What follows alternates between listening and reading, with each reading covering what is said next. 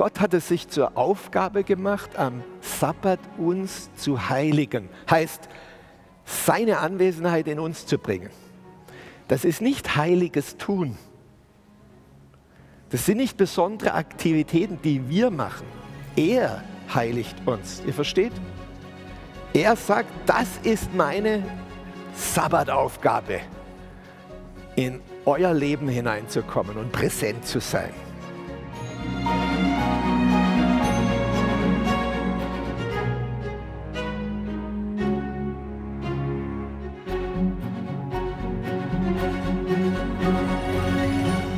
Sabbat. Ist das nicht fantastisch?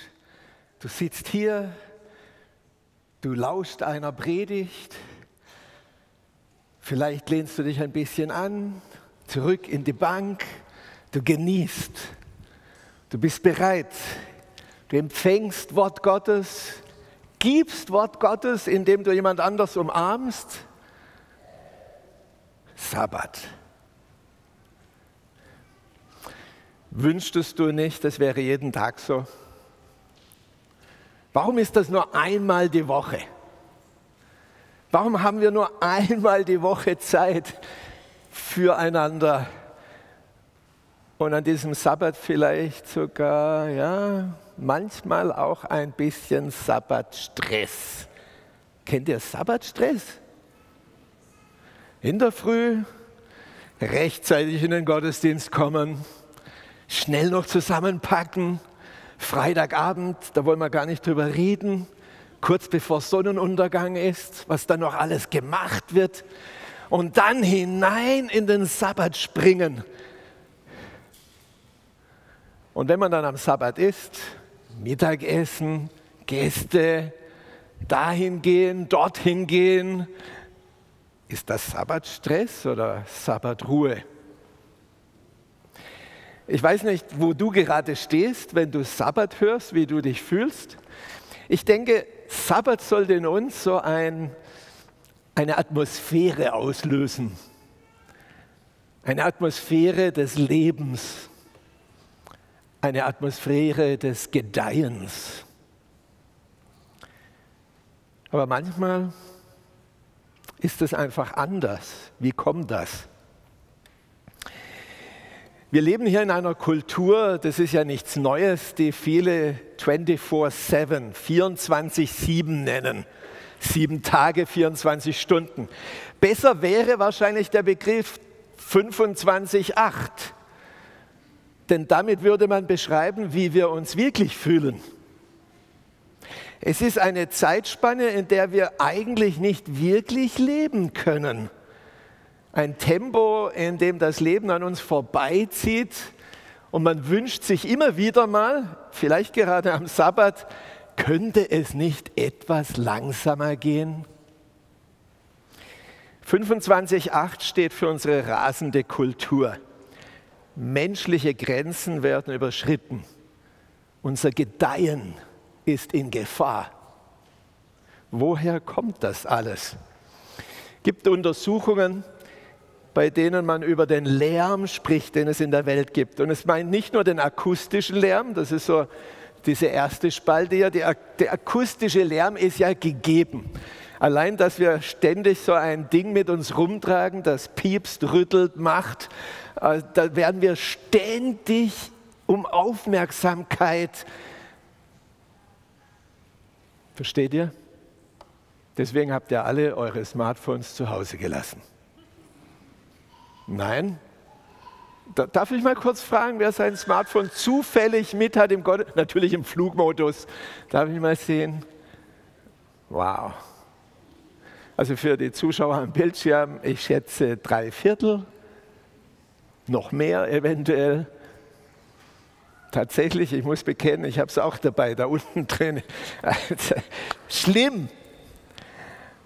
Sirenen ist ein anderes Beispiel. Wisst ihr, dass es Studien gibt über Sirenen, wie laut die sein müssen? Manchmal hört man gerade am Sabbat so um 12 Uhr eine Sirene. Bei uns in Oberösterreich ist das gerne so da. Ja? Aber damit Sirenen unsere Aufmerksamkeit erregen, müssen sie auch laut genug sein, oder? In einer Untersuchung, ich weiß nicht, wie Sie das gemacht haben, aber da liest man 1912, also vor 110 Jahren, musste eine Feuerwehrsirene in drei Meter Abstand 96 Dezibel laut sein, damit man sie auch richtig gut überall hört. 96 Dezibel ist jetzt schon richtig laut, ja.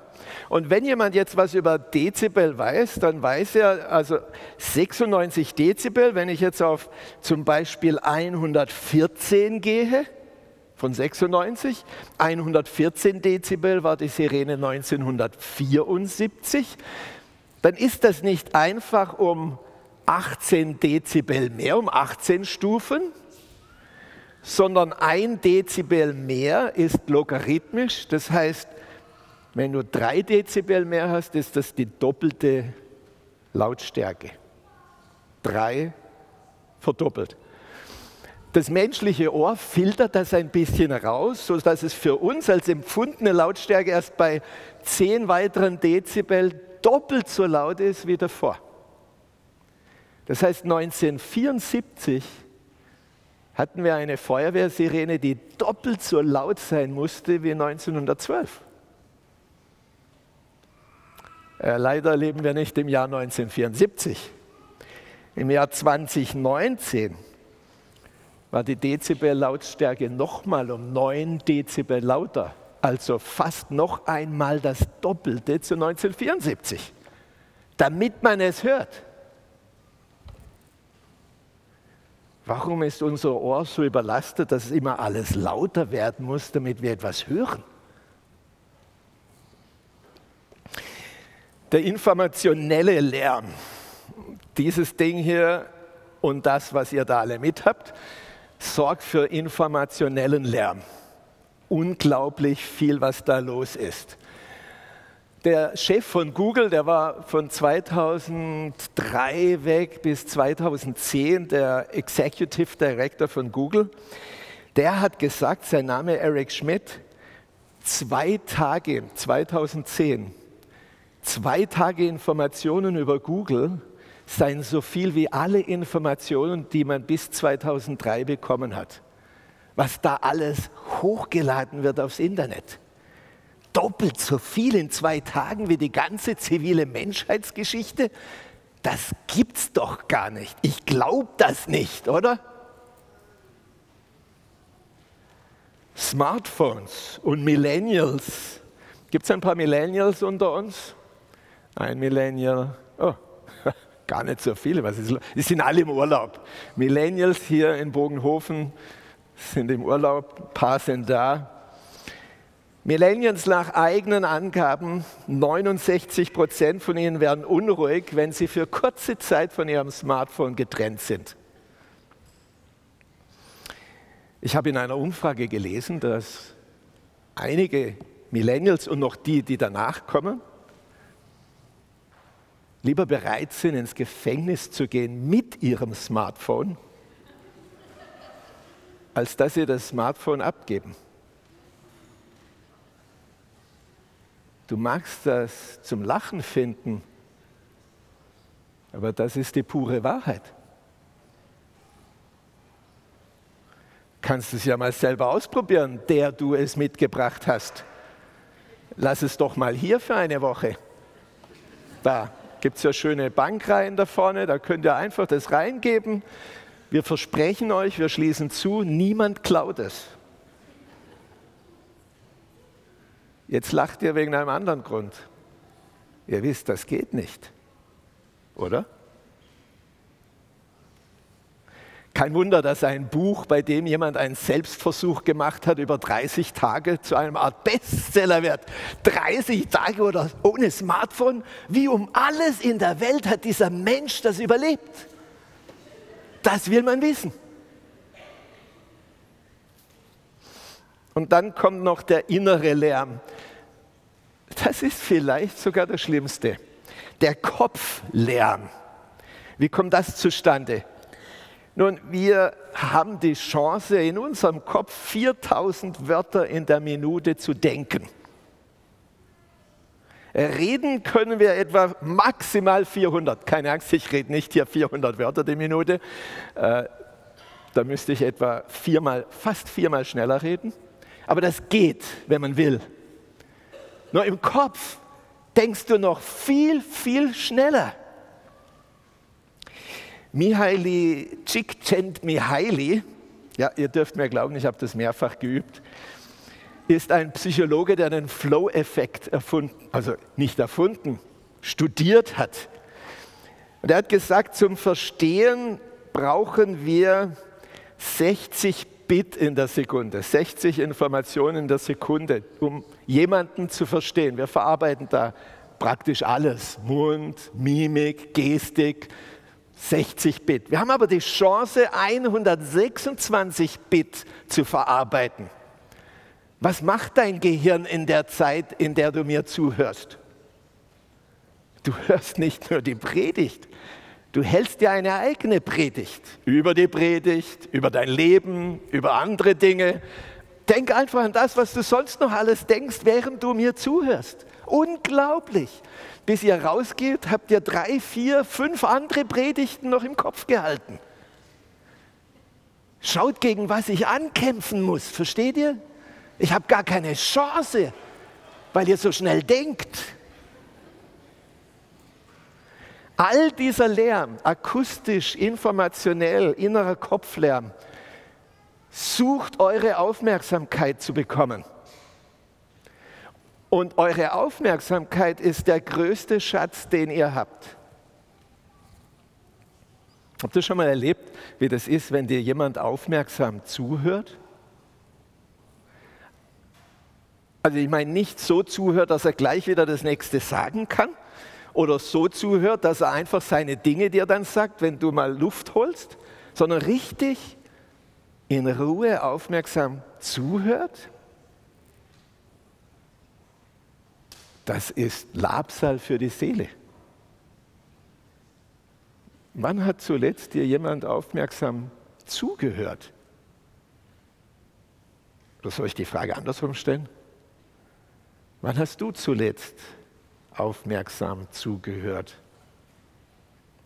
Stille ist etwas Heiliges.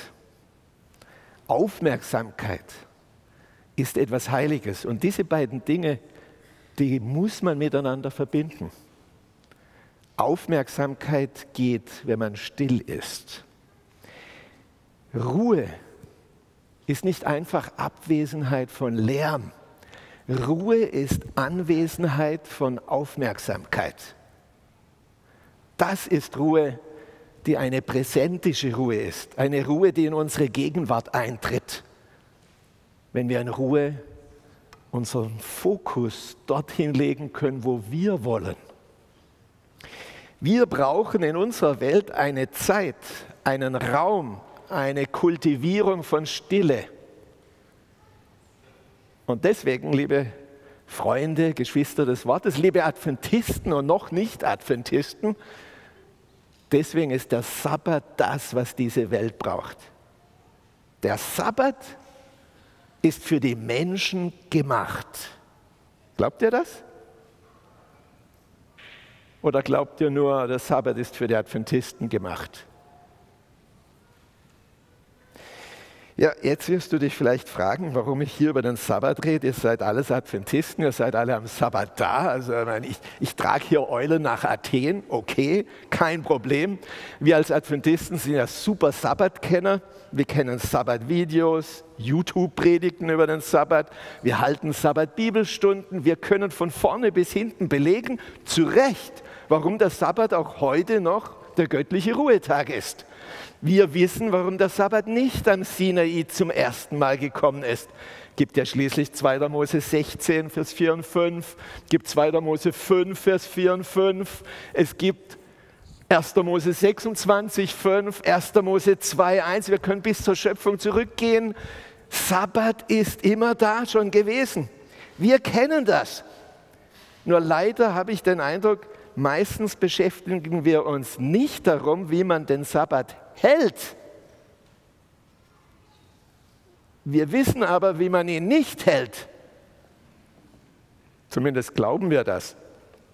Was wir dabei vernachlässigen, ist, dass Sabbat das beste Mittel für Mission ist. Der Sabbat muss ein Comeback erleben. Denn er ist das, was diese Welt braucht. Wenn das irgendwie stimmt, was ich am Anfang euch nur einfach weitergegeben habe, dann ist der Sabbat die Lösung für vieler Menschen Probleme. Und du und ich, wir kennen das. Geben wir es auch weiter? Was bedeutet der Sabbat für dich? Wie ist dein Verständnis von Sabbat? Und wenn man das so ein bisschen geistlich überlegt, wie hat es sich denn verändert im Laufe deines geistlichen Lebens? Ist da was dazugekommen? Oder ist es bei dem geblieben, der Sabbat ist der richtige Ruhetag Gottes? Ich habe es erkannt aus der Bibel und deswegen gehe ich am Sabbat in den Gottesdienst. Das ist richtig, aber es ist viel zu wenig, oder? Was hast du gelernt im letzten Jahr über den Sabbat? Über die Ruhe? Wie hat die Sabbatruhe dein Leben geprägt? Zum Beispiel am Dienstag.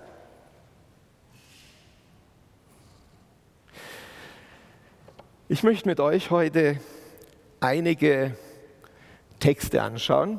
Sieben müssen ja sein, Sabbat, siebter Tag. Und wir werden da über das nachdenken, wie der Sabbat in der Tora präsentiert wird. Und wie er da präsentiert wird, ist nur ein Auszug. Das ist keineswegs umfassend. Ihr könnt noch viele andere Aspekte dazugeben, das ist mir klar. Aber denkt immer daran, dass der Sabbat die Mission ist. Wir ich hätte jetzt fast gesagt, wir Adventisten, aber die Welt, die die Bibel kennt, sollte den Sabbat der Welt geben, die die Bibel nicht kennt. Aber nicht nur als Information. Was würdest du tun, wenn dein Gegenüber dich angesichts des Alltagslärms und der Ruhelosigkeit Folgendes fragen würde? Was wäre, wenn dir jemand einen garantierten Weg anbieten würde, all das zu beheben, Sorgen, Stress aus deinem Leben zu verbannen, dich völlig ausgeruht zu fühlen, dich in diesem Zeitalter der technologischen Raserei tief mit Gott und mit anderen Menschen zu verbinden, dich von Freude, Festlichkeit mitreißen zu lassen, gegen Ungerechtigkeit zu kämpfen, dich um die Schöpfung zu kümmern, Würdest du darauf eingehen? Garantierter Weg. Ich glaube, wenn man das unseren Mitmenschen anbieten könnte, ich glaube, da würden einige drauf einsteigen. Zumindest mal ausprobieren. Und deshalb ist es Zeit für ein Comeback des Sabbats. Schauen wir uns das an. Ich möchte behaupten, mit meinem Kollegen Richard Davidson, der hat das richtig schön ausgearbeitet, Sabbat ist ein Verb.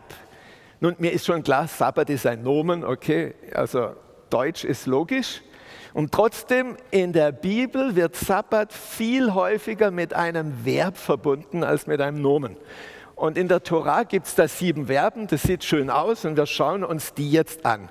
Beginnen wir mit dem ersten Verb. Und wir werden sieben Dimensionen des Sabbats hier anschauen. Dieser Text ist uns ziemlich bekannt, schätze ich. Gott ruhte, und da steht das hebräische Wort Shabbat. Er ruhte am siebten Tag von allem seinem Werk, das er gemacht hatte. Dieses Wort Shabbat heißt eigentlich aufhören, beenden, etwas nicht mehr tun. Das ist für die Israeliten zur Zeit des Auszugs aus Ägypten ein richtiges Schlagwort geworden. Ich habe ja den Text schon erwähnt in 2. Mose 5, Vers 4 und 5. Da denkt sich der Pharao, liebe Leute, Mose, Aaron, was habt ihr eigentlich? Ihr kommt hierher und ihr wollt dieses Volk noch feiern lassen, so wird es übersetzt. Aber im Hebräischen steht, ihr wollt das Volk auch Schabbaten lassen?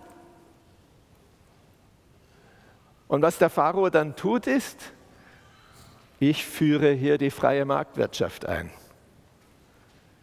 Und in der freien Marktwirtschaft können wir nicht die Maschinen ruhen lassen am siebten Tag. Wir arbeiten. Und damit ihr auch wirklich versteht, was Arbeiten ist, gebe ich euch die Möglichkeit, mit den Grundmitteln der Arbeit umzugehen. Macht mal Ziegel aus Ton und los geht's. Diese Natürlich war es keine freie Marktwirtschaft, aber es gibt schon ziemliche Ähnlichkeiten. Diese freie Marktwirtschaft in Ägypten hat dafür gesorgt, dass die Israeliten eben nicht mehr ruhen sollten, nicht mehr feiern sollten am siebten Tag.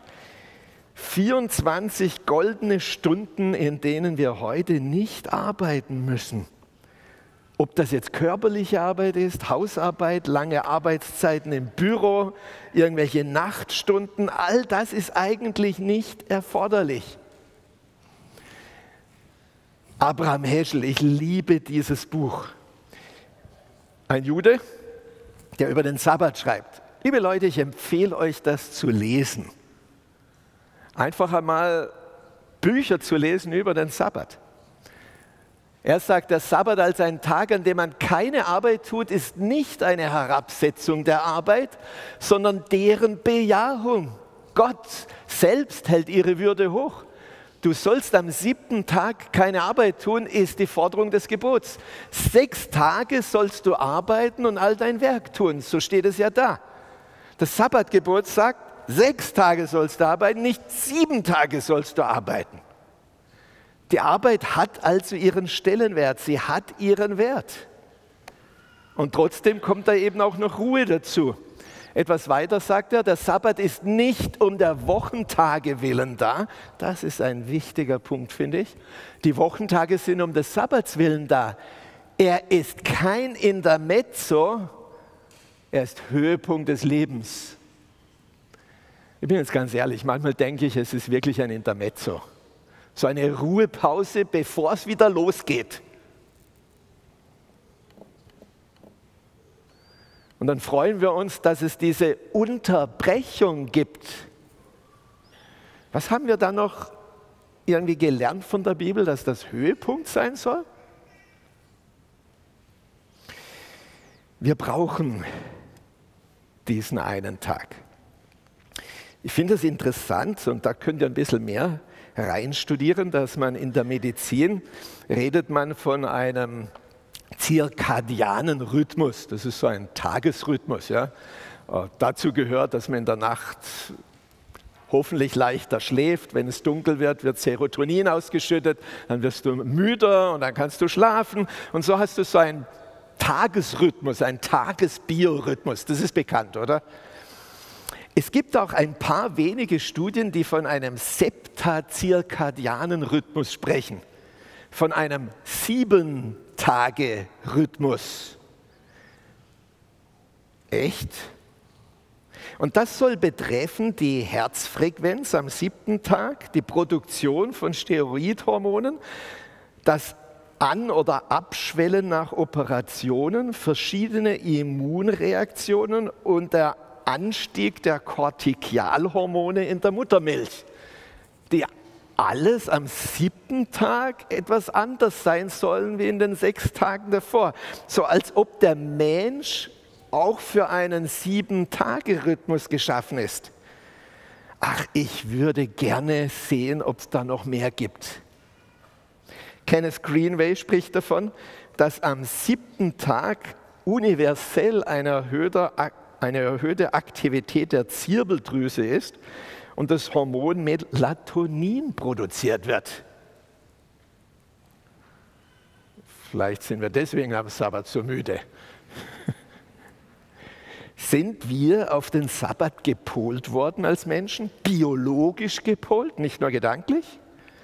Körperliche Ruhe ist wichtig, also ausreichend Schlaf. Hast du gehört, Martin? Oh, Entschuldigung, das steht nicht da. Es ist nicht unangebracht, am Sabbatnachmittag einen Powernap zu halten. Ihr dürft auch zwischendurch mal einen Amen rufen, wenn ihr denkt, dass das stimmt. Ja? Oder ein erfrischendes Schläfchen. Sehr zurückhaltend, ne? Ich frage mich während der Kindergeschichte, was der Papa eineinhalb Stunden gemacht hat, als die Mama die Simone gesucht hat. Jesus sagt, der Sabbat ist um des Menschen willen geschaffen worden, nicht der Mensch um des Sabbats willen. Nicht der Mensch um des Sabbats willen. Am Sabbat bekommen wir auch geistig-mentale Ruhe.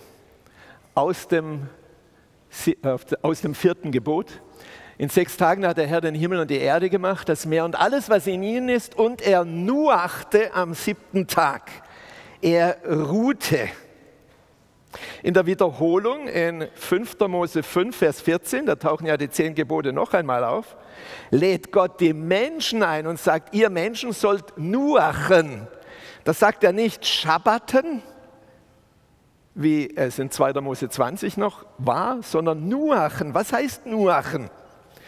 Nuachen bedeutet sich wirklich ausruhen. Das ist nicht beenden und aufhören, sondern das ist zur Ruhe kommen. Oft meint es auch psychologisch zur Ruhe kommen, ganzheitlich zur Ruhe kommen, aufatmen fast schon. Das ist eine geistige Ruhe. In der Genesis Rabbah, eine rabbinische Erklärung zur Genesis steht, was wurde am Sabbat geschaffen? Gelassenheit, Heiterkeit, Frieden, Ruhe, das wurde am Sabbat gemacht. Könnt ihr euch mit dem identifizieren? Seid ihr heute etwas heiterer als sonst? Ich hoffe. Vielleicht habt ihr noch das eine oder andere auch zum Lachen an diesem Tag womöglich auch in der Predigt. Oh, ein weiteres Buch, jetzt darf ich das zeigen. The Sabbath Experiment. Rob Muthia, ich habe den mal getroffen bei einer Tagung in Kalifornien, ist Professor für praktische Theologie an der Azusa Pacific Seminary. Er glaubt, dass der Sonntag der Ruhetag ist aber er hat einen Kurs angeboten, den nennt er The Sabbath Experiment, wo er sagt, lasst uns mal Sabbat feiern. Am Sabbat, so wie die Bibel das sagt. Und er gibt dann seinen Studenten Anweisungen, wie geht das? In diesem Buch verknüpft er biblische Texte mit praktischen Anweisungen. Das ist praktisch der Syllabus zu seinem Kurs. Englisch, leider, aber hey, viele von euch können Englisch lesen. Warum nicht einmal so ein Buch lesen? Manchmal frage ich mich, warum hat Adventisten nicht ein Sabbat-Experiment an der Uni irgendwo durchgeführt? Aber das sage ich nur ganz leise, okay? In diesem Buch gibt es tolle, interessante Gedanken. Hier einer. Ein weiterer Aspekt der Sabbatruhe ist das intellektuelle Ausruhen. Dazu müssen wir unseren Verstand anders einsetzen. Der Verstand, der die ganze Woche über zum Planen, Problemlösen, Entwerfen, Strategien entwickeln, Sammeln von Daten und Organisieren eingesetzt wird, wird am Sabbat von diesen Anforderungen befreit. Was macht ihr dann noch mit den 126 Bit pro Sekunde, die ihr denkt? wenn das alles nicht mehr gemacht werden muss. Endlich frei. Aufmerksamkeit zu konzentrieren dorthin, wo man es möchte. Auf Mitmenschen, auf Gott, auf sein Wort, auf Singen und Musik, auf Natur, hinausgehen. Endlich frei.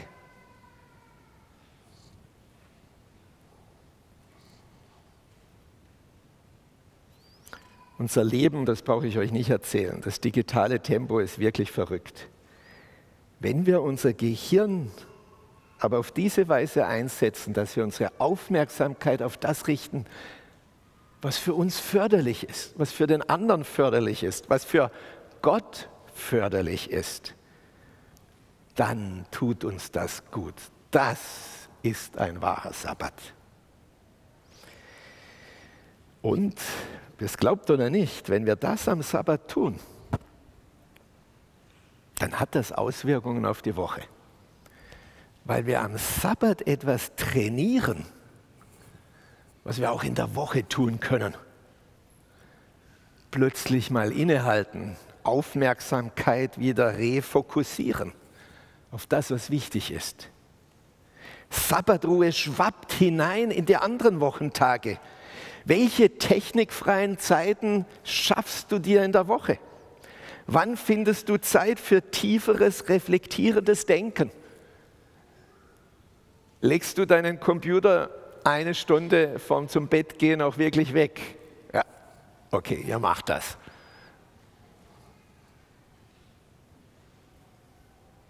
Ich habe jetzt nur gerade an mich gedacht. Aber das könnte ich mir ja vornehmen. Richard Svensson in seinem Buch über Ruhe schreibt, wir sind wie ein Buch. Ein Buch ohne Rand, ein Buch ohne Absätze, jeder Millimeter wird vollgeschrieben. Wir kosten die Zeit aus. Leute, so ein Buch lese ich nicht gerne. Also manchmal gehe ich in ein Buch hin und schaue mir, okay, Umschlag sieht gut aus, aber dann öffne ich es und das Layout muss passen. Wenn das vollgeschrieben ist, von oben bis unten und kein Platz am Rand, dann denke ich mir, na, also da, da hat sich jemand nicht gut überlegt, dass das fürs Auge nicht passt. Und lege es weg. Sei nicht ein Buch, das man weglegt. Lass freie Zeilen, mach Absätze. Eine emotionale, erneuernde Ruhe ist das dritte Wort. Das dritte Wort ist Nafash. 2. Mose 31, 17 liest sich fast wie im vierten Gebot, nur steht da, er hat geruht und Atem geschöpft. Nafash, Atem schöpfen. Das geht auf die Emotionalität. Das ist das Erfrischende für die Seele. Wie hat es Jesus ausgedrückt? Ihr werdet Ruhe finden für eure Seelen. Am Sabbat zu ruhen bedeutet, sich emotional auszuruhen. Das regelmäßige wöchentliche Leben erschöpft ja die emotionale Kapazität eines Menschen geradezu. Am Sabbat halten wir inne. Wie funktioniert das? Hm. Vielleicht, wenn man am Sabbat potenziell, also potenzielle kontroverse Gespräche vermeidet. Konfliktgespräche muss man nicht am Sabbat führen. Also wenn du jetzt rausgehst ins Foyer nachher, sprich Dinge, die erfreulich sind. Ermutige andere lieber. Entwickle andere Formen der Eltern- und Kindbeziehung. Wir haben das in der Kindergeschichte sehr schön gehört, was sie am Sabbat alles tun. Übe dich darin, sogar die Sorgen loszulassen über den Tag. Manchmal denkt man, ach, wenn es nur länger Sabbat wäre, weil, nein, gar nicht an das Denken. Fuß, Augen, Körperkontakt mit Natur, das erfrischt unsere Seele. Der Sabbat, ein nächstes Buch, Marva Dawn, Keeping the Sabbath Holy. Ich glaube sogar, das gibt es auf Deutsch. Übersetzt. Marva Dawn, wie, der, wie die Morgenröte. Auch keine Adventistin, der aber darüber schreibt, wie man den Sabbat hält, damit man am Sabbat am meisten rausbekommt. Ich wünschte, ein Adventist hätte das Buch geschrieben.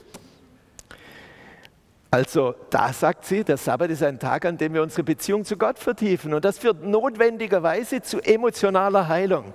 Ein besonderer Tag, der der emotionalen Erholung gewidmet ist. Er gibt uns die Stille, um uns selbst zu entdecken, unsere Integrität und Kreativität wieder zu erlangen.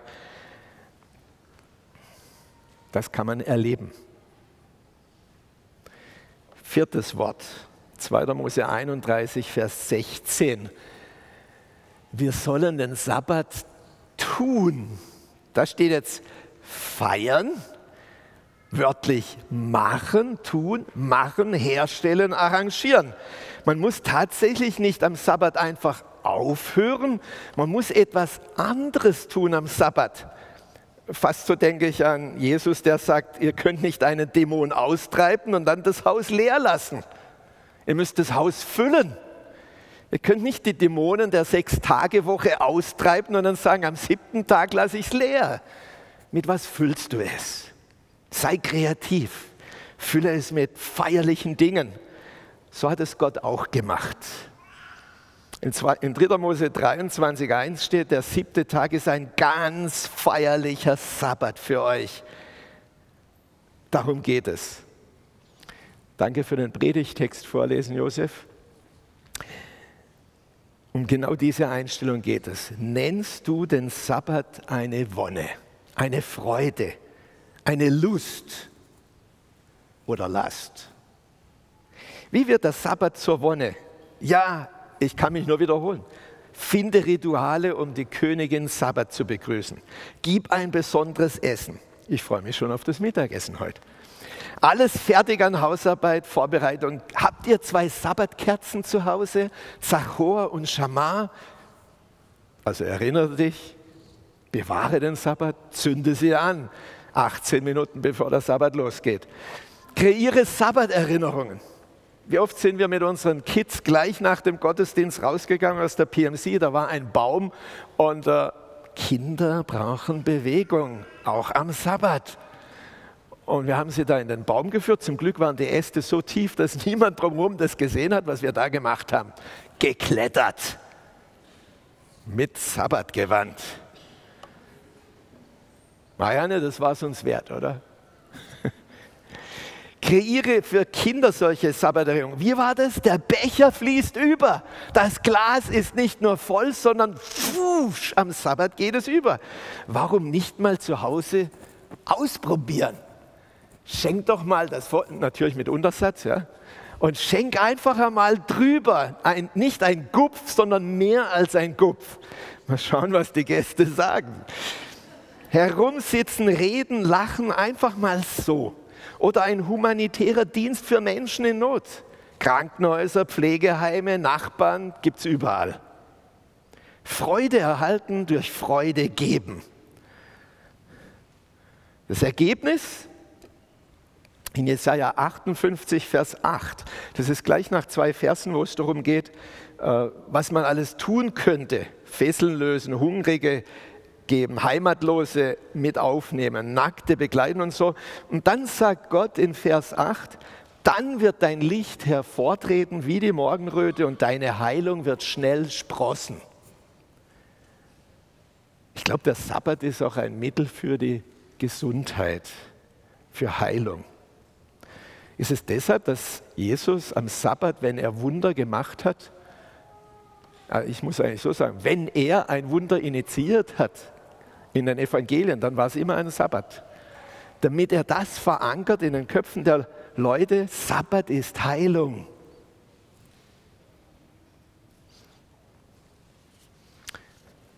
Fünftens, von Gnade erfüllte Ruhe. Ihr werdet euch wahrscheinlich wundern, warum das Wort vollenden, Kala, etwas mit Gnade erfüllte Ruhe zu tun haben soll. Gott beendete, er vollendete, er brachte es zur Erfüllung am Sabbattag. Tatsächlich ist es so, dass wenn man den Schöpfungstext liest in 1. Mose 1, man merkt vom ersten Tag an, das geht wohin. Ja? Das war der erste Tag. Wenn ich der erste Tag höre, dann denke ich, okay, dann muss ja wohl auch ein zweiter kommen. Dann höre ich zweiter Tag, dritter Tag, vierter Tag, fünfter Tag, sechster Tag. Und Gott vollendete, brachte zur Erfüllung. Die ganze Schöpfung ist auf diesen Tag ausgelegt. Nicht nur in dem, wie Gott es gemacht hat und wunderbar arrangiert hat, auch literarisch niederschreiben ließ, sondern tatsächlich in allen Bereichen des menschlichen Lebens ist das die Erfüllung. Der Mensch erlebt Sabbatfreiheit, Sabbatfeier, Sabbatfreude an diesem Tag. Das war der erste Tag, an dem der Mensch einen gesamten Tag erlebte. Hat der Mensch damit Gott geruht? Oder war das so, Gott hat gesagt, so, ich mache jetzt Ruhe und ihr tut mal schön bebauen und bewahren? heute, während ich ruhe. Das kann man sich nicht vorstellen, oder? Wäre seltsam. Gott erschafft also den Menschen und gibt ihm gleich mit auf den Weg als erster Tag, den er lebt. Schabbat. Versteht mich jetzt nicht falsch, wenn ich sage, der Sabbat für Adam und Eva war der erste Tag der Woche. Klingt ein bisschen fremd, gell? Ist okay. Ein bisschen verwirrend ist gut, dann denkt man weiter. Erster Tag, den sie erlebt haben. An jedem Sabbat, wenn wir von unserer Arbeit ausruhen, verkündigen wir der Welt, dass alles durch Gott vollendet ist. Der Sabbat wird in der Bibel im Neuen Testament mit Erlösung verbunden. Denkt an Hebräer 4, Sabbatruhe, die Erlösungsruhe, das kommt noch. Wir verkündigen am Sabbat, dass Gott alles vollendet hat. Wir sind nicht daran beteiligt, dass wir erlöst werden. Gott macht das für uns. Wir lassen uns beschenken, so wie Adam und Eva durch Leben beschenkt worden sind und dann in der Sabbatruhe den Tag mit Gott verbringen. Wir können am Schabbat verkündigen, dass Gott erlöst hat. Der Sabbat ist Mission. Sechster Punkt. Es ist eine gesegnete, befähigende Ruhe. Auch 1. Mose 2, Vers 3. Gott berachte am Sabbat. Er berachte den Sabbat. Segnete. Segen, Barach meint ausstatten, ermächtigen, etwas befähigen. Vorher kam schon der Segen in der Schöpfung vor. Er segnete die Fische, die großen Fische. Er segnete den Menschen und spricht dann zu ihm, seid fruchtbar Meere durchfülle die Erde. Gottes Segen ist ein Spruch, der das, was er geschaffen hat, befähigt, das zu erfüllen, was er sagt. Welchen Segen hat Gott am Sabbat? Was sagt er uns da zum Sabbat, wo er möchte, dass der Sabbat sich verbreitet, dass er, lass mich das so sagen, der Sabbat soll fruchtbar sein und sich mehren. Nicht nur am Schabbattag, sondern wir leben in einer Sabbatstimmung die ganze Woche. Und der Sabbat ist der besondere Tag, wo wir dem unsere ungeteilte Aufmerksamkeit geben können, was uns aber auch die ganze Woche antreibt.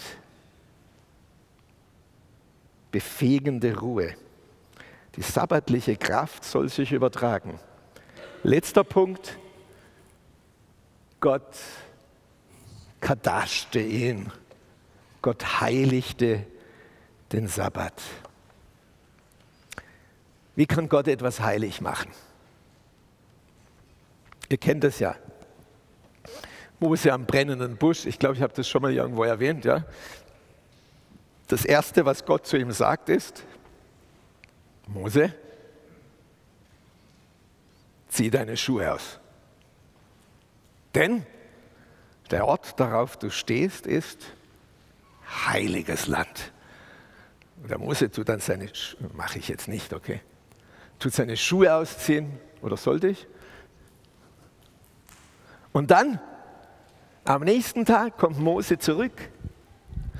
Und wenn er nur ein bisschen die Neugier hat, die ich habe, dann würde er dann nochmal hingehen zu dem Busch, der da gebrannt hat und sagen, okay, ich schaue mir das nochmal an. Zieht Mose seine Schuhe aus. Ich, ich glaube nicht wirklich. Da ist niemand da, der sagt, stopp, komm nicht näher, zieh deine Schuhe aus, heiliges Land. Ja, mit Sandalen bin ich geschützt, keine Schlangen, was weiß ich, was da passiert. Und schaut sich den, der ist immer noch da. Fantastisch. Übrigens, sehr schön gemacht, oder? Richtig toll für einen Sabbat. Was macht das Land heilig, damit Mose seine Schuhe ausziehen muss? Die Antwort liegt ja auf der Hand. Es ist Gott, der da ist. Da, wo Gott ist, ist Heiligkeit, denn er ist die Quelle des Heiligen. Und überall, ihr könnt jeden Bibeltext nehmen, wo was von heilig steht. Es ist immer in Verbindung mit Gott. Ohne Gott ist etwas nicht heilig.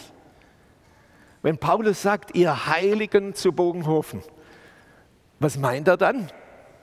Seid ihr ganz besondere Leute hier? Ja, wahrscheinlich schon. Also ich finde, ihr seid besonders. Aber was er meint ist, ihr habt Verbindung mit Gott und deswegen seid ihr heilig, weil der Heilige Geist in euch wohnt. Seid ihr ein Tempel des Heiligen Geistes, ein Tempel des Heiligen Gottes. Ihr seid heilig weil Gott heilig ist und er in euch ist. Wenn er sagt, dass er den Sabbat heiligt, dann sagt er, ich gebe euch ein Heiligtum in der Zeit. ich spreche mit Abraham Heschels Worten, ja. Ich gebe euch eine, eine Zeit, in der Heiligkeit anwesend ist. Ich bin da. Gott schenkt sich selbst als Person am Sabbattag. Das ist der Höhepunkt, deswegen der siebte Punkt hier. Der Sabbat ist das Geschenk, das Gott uns macht, indem er sich selbst uns gibt. Was für ein Gott!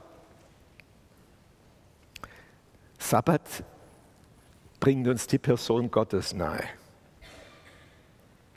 Haltet nur ja meine Sabbate, lässt Gott Mose schreiben, denn sie sind ein Zeichen zwischen mir und euch für all eure Generationen, damit man erkenne, dass ich der Herr es bin, der euch heiligt. Gott hat es sich zur Aufgabe gemacht, am Sabbat uns zu heiligen. Heißt, seine Anwesenheit in uns zu bringen. Das ist nicht heiliges Tun.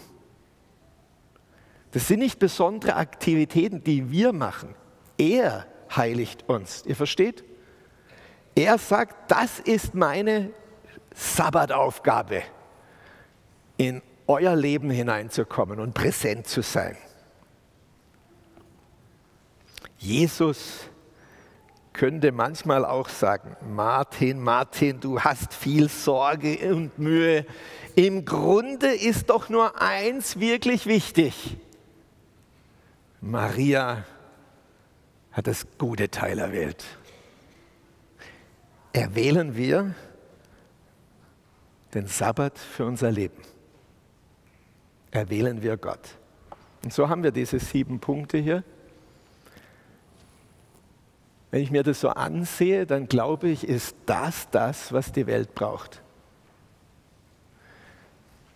Fragt die Menschen, die ihr kennt, ob sie Ruhe haben möchten.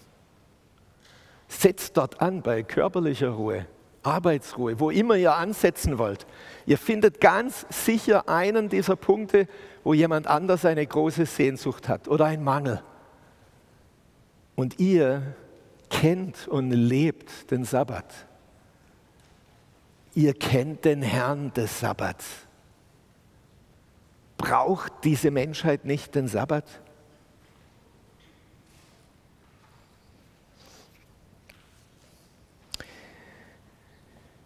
In der Schweiz habe ich diese Gedanken ähnlich gehalten bei der Konferenz dieses Jahr. Da kam dann ein Bruder nachher auf mich zu und sagte, ich muss mit dir reden. Und er hat mir gesagt, du weißt, ähm, ich bin da so in Kreisen und da hatten wir so irgendein ein Führungsseminar. Da war eine Person und mit der komme ich ins Gespräch, das war der Leiter des Seminars, ich glaube, so war das. Und ich erzähle ihm, wer ich bin und was ich mache und habe ihm was vom Sabbat erzählt und dann fragt er mich plötzlich, Sabbat, erzähl mir mehr. Und dann erzähle ich und erzähle ich und dann sagt diese Person, ein Nicht-Adventist, das gibt es ja gar nicht. Echt jetzt? Das ist ja das Beste, was man wissen muss in unserer Zeit.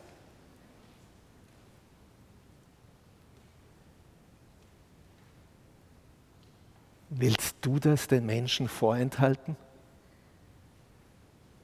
Wir singen gleich ein Lied vom Kronjuwel der Schöpfung. Wir haben ein Kronjuwel geschenkt bekommen. Der Sabbat ist aber nicht nur Kronjuwel der Schöpfung. Meine Überzeugung ist es, der Sabbat ist das Kronjuwel unserer Mission als Adventgemeinde. Der Sabbat ist nicht für die Adventisten gemacht. Der Sabbat ist für die Menschen gemacht. gib ihn den Menschen weiter. Amen.